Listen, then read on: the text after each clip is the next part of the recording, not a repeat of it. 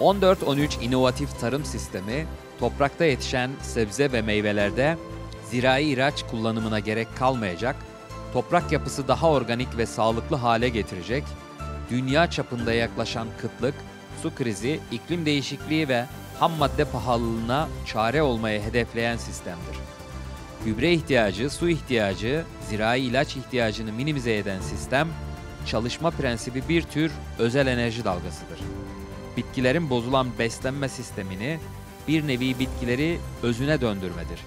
Daha sağlıklı hale gelen sebze ve meyveler sistem sayesinde ve iyileşen toprak sayesinde %30 ile %500 arasında verim artışı yaşamaktadır. Üretim maliyetleri minimize hale gelirken verim artışı ile 14-13 inovatif tarım dünya için devrim olabilecek bir sistem olmaya adaydır. İnovatif tarım sistemi proje fikir kategorisinin birincisi olmuştur.